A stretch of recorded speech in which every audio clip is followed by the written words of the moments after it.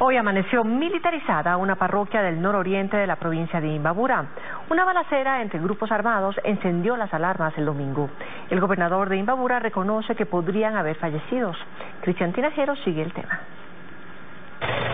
En la parroquia Buenos Aires de Urcuquí, en Imbabura, hay una tensa calma, 30 horas después de que se registrara una balacera entre grupos armados que intentan controlar la ilegal actividad minera que se desarrolla en la zona desde diciembre de 2017, según un reporte del sistema EQ 911. Tras la balacera se reportaron ocho heridos y un fallecido. Sin embargo, Galo Zamora, gobernador de Imbabura, maneja otra información. Bueno, en este momento el dato que nosotros tenemos oficial son de los cuatro heridos, pero conocemos extraoficialmente que sí hay una persona fallecida, pero lamentablemente no tenemos el dato exacto porque estos dos grupos que tratan de crecer su hegemonía, su poder, no han permitido que se realice el ingreso para poder hacer el levantamiento del cadáver.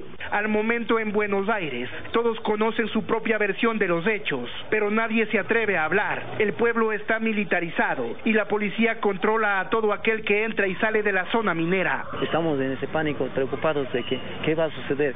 Yo como le decía al señor ministro, pues si cuántos muertos quieren que hagan más para que tomen carta en el asunto. Policías y militares planifican un ingreso a esta zona de geografía irregular para hacerlo, necesitarían al menos 3.000 uniformados.